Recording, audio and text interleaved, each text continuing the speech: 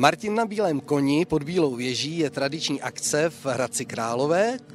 Držíme ji od roku 2007 v nezměněném termínu, tedy 11. listopadu, na počest svatého Martina Stůrs, který byl svědcem, jenž se rozdělil se žebrákem o svůj plášť a v podstatě se tak stal nesmrtelným. No a tenhle ten svátek patří tradičním oslavám, které se líbí všem, protože je provázen otevírání mladého martinského vína husou, a dobrou zábavou a věřím, že k tomu tahle akce přispívá.